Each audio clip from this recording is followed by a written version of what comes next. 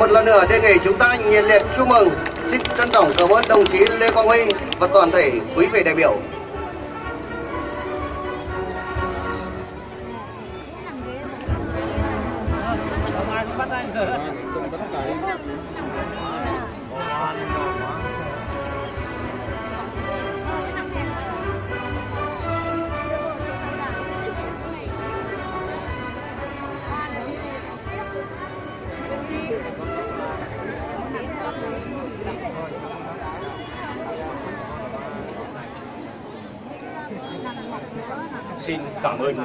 Chí Nguyễn Thanh Nhàn.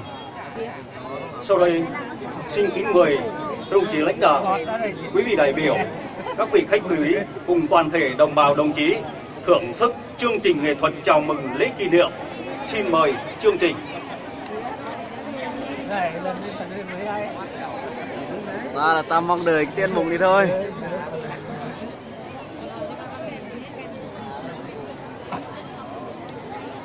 Sau đây, xin trân trọng kính mời quý vị đại biểu, các vị khách quý, đồng bào, đồng chí cùng đón xem chương trình nghệ thuật với chủ đề Sáng đẹp một miền quê gồm 3 chương. Chương 1 Miền đất cổ huyền thoại. Chương 2 Sắc màu Quỳ Châu. Chương 3 Bức tranh ngày mới. Chỉ đạo nội dung huyện ủy, ủy ban nhân dân huyện Quỳ Châu chỉ đạo thực hiện phòng văn hóa thông tin huyện Quỳ Châu. Kịch bản và tổng đạo diễn chương trình Nhạc sĩ, nghệ sĩ ưu tú Tiến Dũng.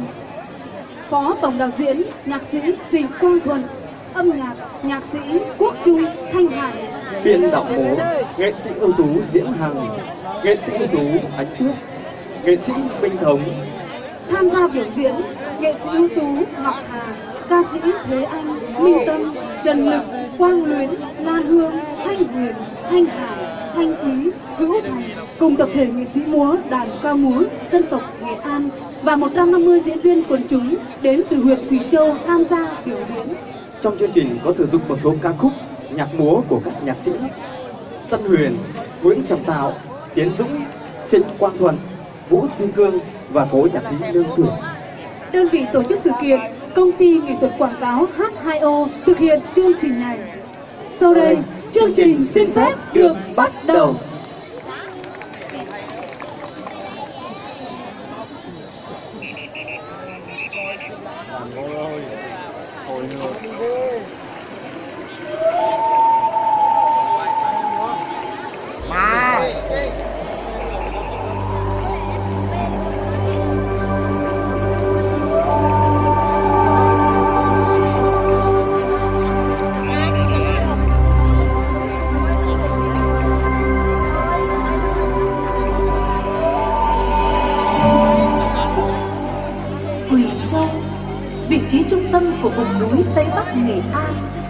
Mảnh đất có truyền thống lịch sử văn hóa lâu đời. Trải qua hàng ngàn năm lịch sử, mặc dù có sự biến đổi về địa phận hành chính, nhưng Quỳ Châu luôn gắn liền với Nghệ An trong tiến trình phát triển chung của quê hương đất nước. thiên nhiên ban tặng cho Quỳ Châu nhiều danh lam thắng cảnh hùng vĩ và hữu tình.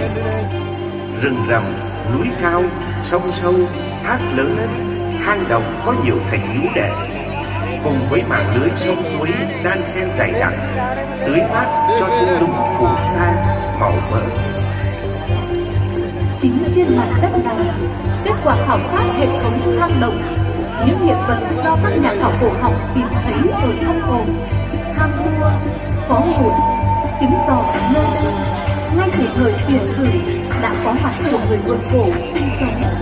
Sự phong phú, đa dạng của các nguồn thức ăn từ rừng xanh đại ngàn, từ sông và khe suối, cộng với sự tình yêu của đất đai trong các thung lũng đã cuốn hút con người từ nhiều nơi quy tụ về đây lập bản lập mới xây dựng cuộc sống thuận hòa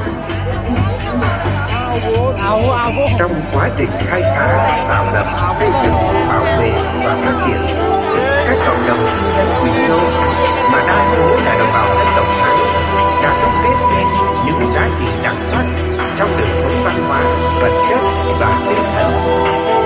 Những truyền thuyết huyền thoại kể về một thời quay biển hào hùng. Truyền thống lịch sử lâu đời ấy đã để lại cho Quỳ Châu nhiều di tích mang đậm dấu ấn của các giai đoạn lịch sử khác nhau, không chỉ của địa phương mà của cả dân tộc.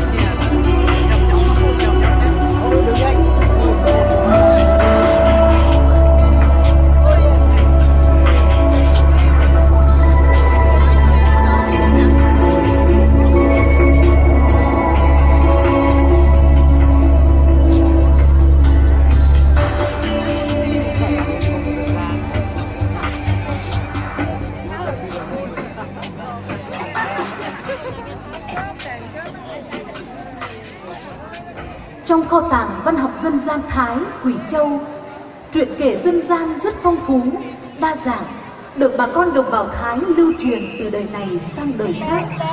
Nội dung truyện kể là giải thích về nguồn gốc loài người, về các hiện tượng tự nhiên, về các anh hùng dân tộc, về quá trình lập bản, lập mường, về tình yêu đôi lứa, về cuộc sống đấu tranh giữa cái thiện và cái ác, giàu với nghèo để giáo dục con người trong xã hội.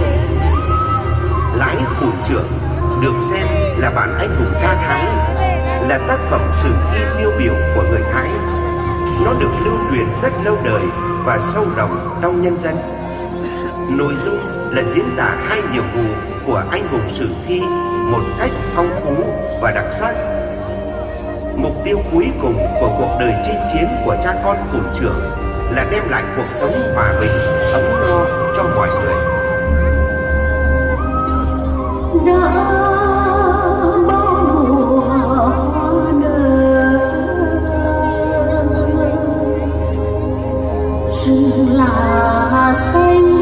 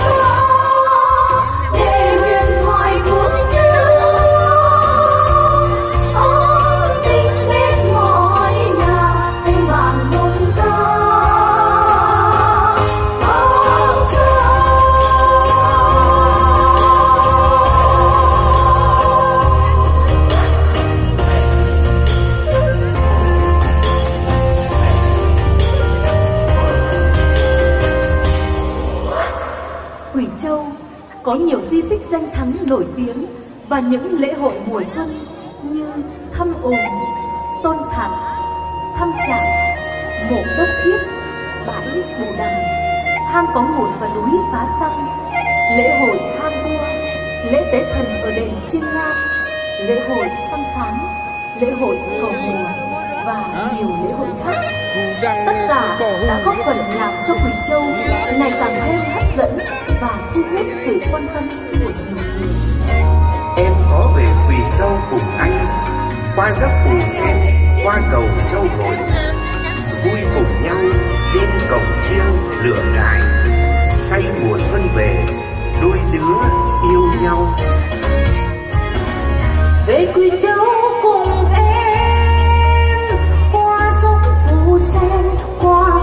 cầu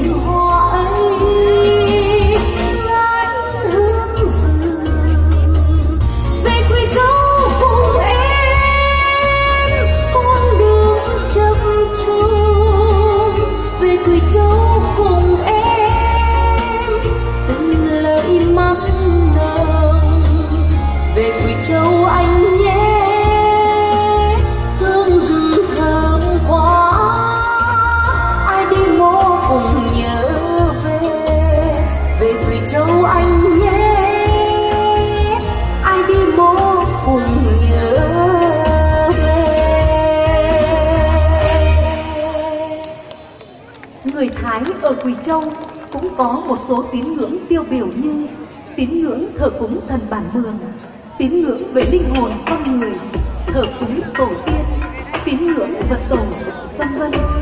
Chúng ta cùng đón xem một nét sinh hoạt văn hóa đặc trưng của đồng bào Thái Nghệ An qua màn hát múa,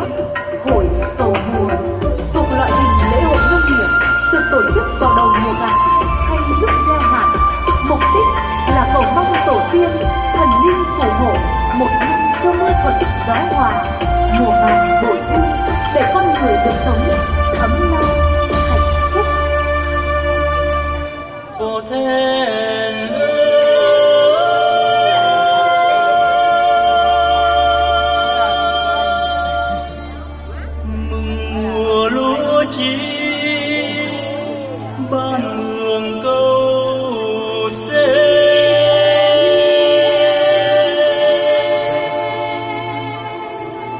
trời gặp nhau cho cây lúa trên nương dưới ruộng.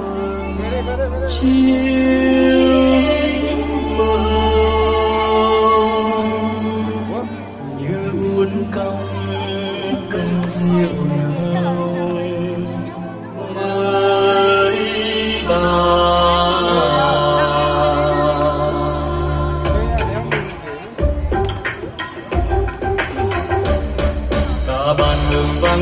tiếng mừng lúa vàng bầu trời nhớ đến hạt lúa nằm chịu bông.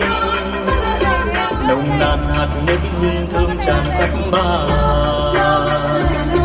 con trai con gái hát múa mừng lúa mới xôn xao cả rừng lúa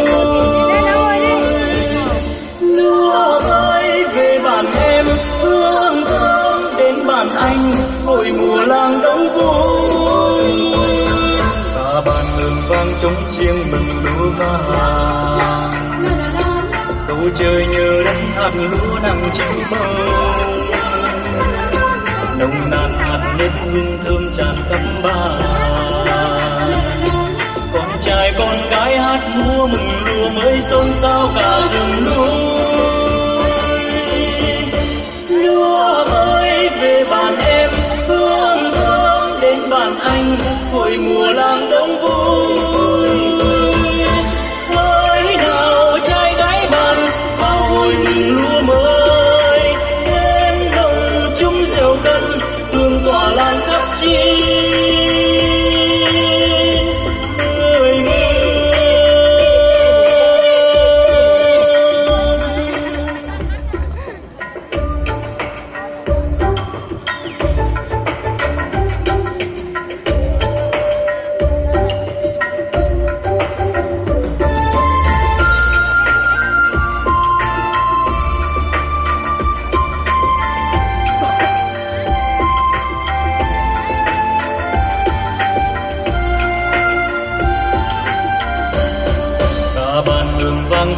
tiếng mừng lúa vàng cầu trời nhờ đất hạt lúa nằm chịu bông.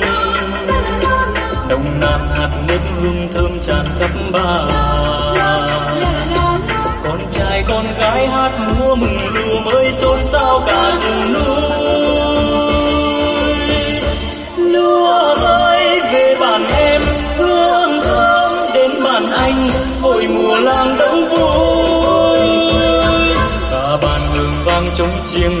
chiêng ra là vàng trời nhờ đất hạt lúa nằm chịu bông nồng nàn hạt nước hương thơm tràn khắp ba. Con trai con gái hát múa mừng lúa mới xôn xao cả rừng núi.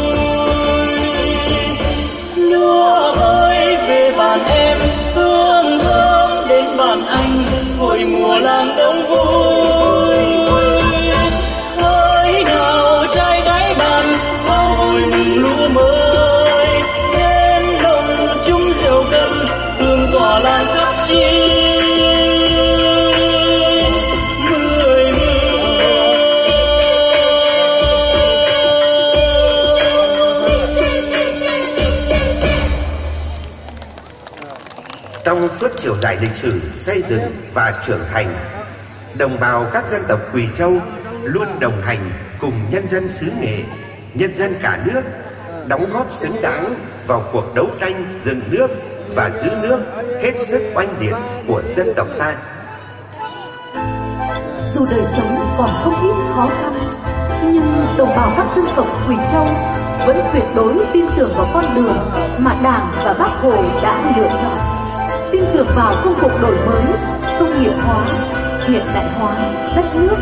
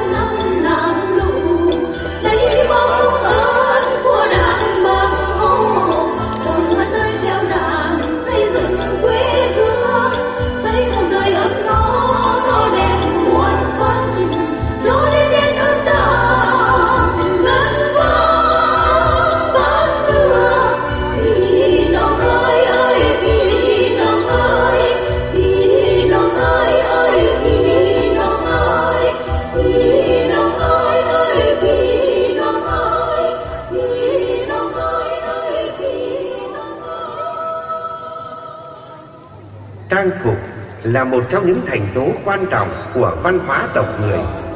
Có thể nói trong văn hóa dân tộc, trang phục, đặc biệt là trang phục của phụ nữ, là cái mà ở đó bản sắc dân tộc biểu hiện rõ rệt, thường xuyên và lâu bền nhất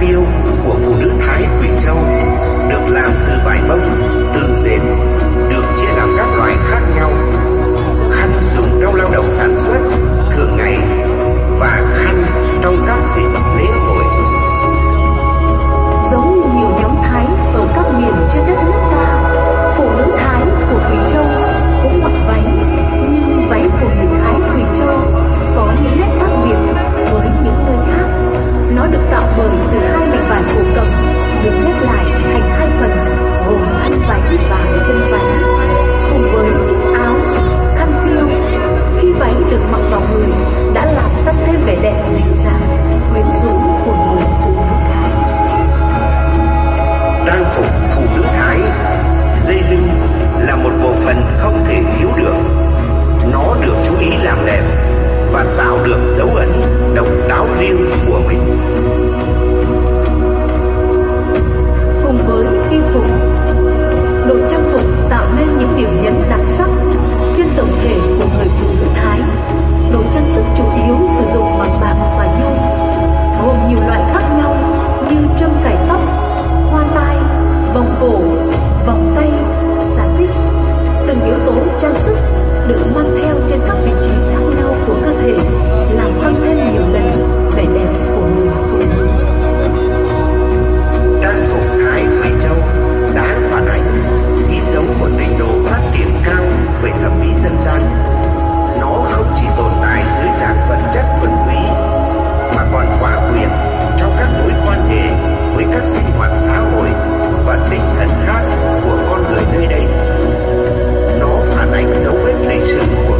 rộng người. Những người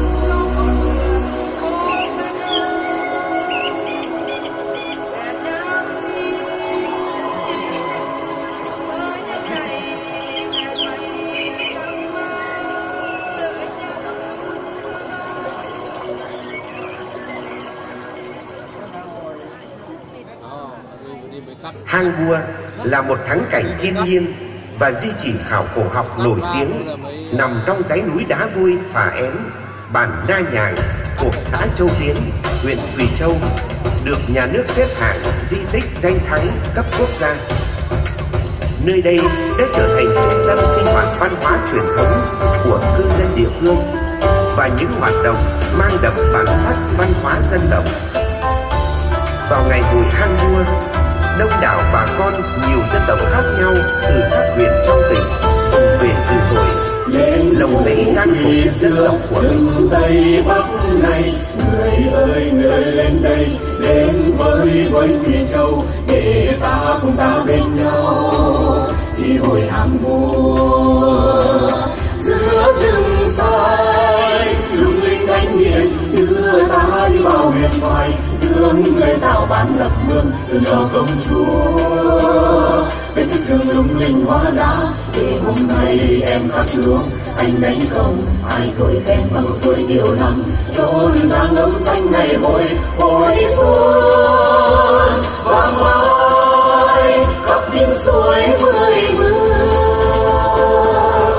lên phủ quỳ xưa rừng tây bắc này người ơi người ơi, lên đây, đến với với quỳ châu, để ta cùng ta bên nhau. Đi vui hàng mùa giữa rừng xanh tung linh ánh điện đưa ta đi vào huyền thoại thương người tạo bán lập mương thương cho công chúa. Cái chiếc giường lung linh hoa đá để hôm nay em hát luống. Anh đánh công ai thổi khen bằng suối điều lắm rộn ra âm cánh mẹ hội hội xuân và mãi góc tiếng suối mười mưa những điệu nhẹ dài, ném còn, thổi khen, bắn nỏ, khắp núi. Hòa trong tiếng cổng chiêng vang lên rộn rã như tiếng vọng của non làng. Tiếng sáo kèn tiếng bí cùng những điệu dương ca nhuôn suối năm khắp cả núi rừng để mỗi bước vào ngồi xuân ơi người lên đây đến với với quỳ châu. Để ta cùng ta bên nhau đi hội hàng mùa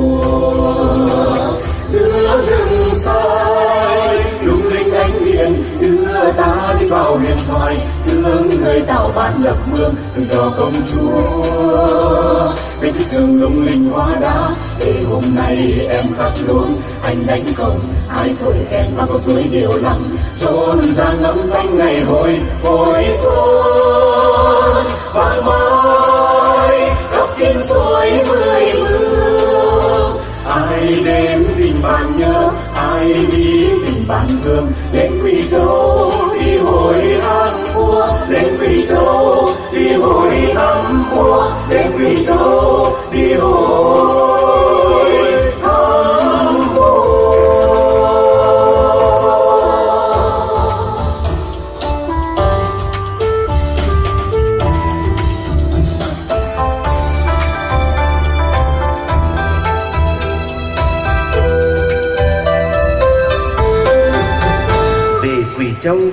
bốn mùa thơm hương bay, bốn mùa hoa trái ngọt, một vùng đất núi non kỳ vĩ, bao con suối, con sông miệt mài trôi ra bể, gửi đến muôn nơi tình người, tình đất Quỳ Châu.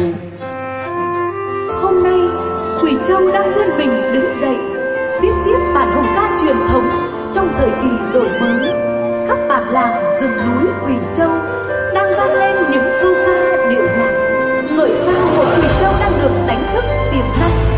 vẻ đẹp đầy sắc mới. Gửi lời tới bầu bạn xa gần, xin hãy nhớ về. Con đường chiều vùng đất cổ xưa. Đưa ta vào cảnh sắc mộng mơ.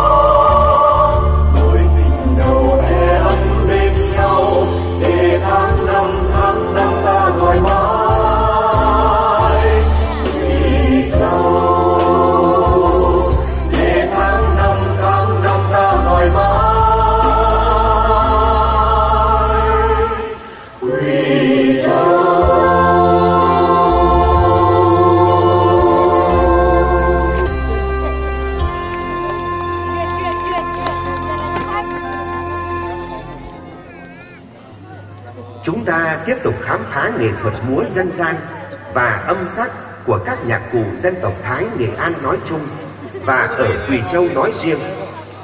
Đây cũng là nét văn hóa độc đáo, đặc trưng của tộc người, phản ánh đậm nét đời sống văn hóa nghệ thuật của người Thái từ trước tới nay.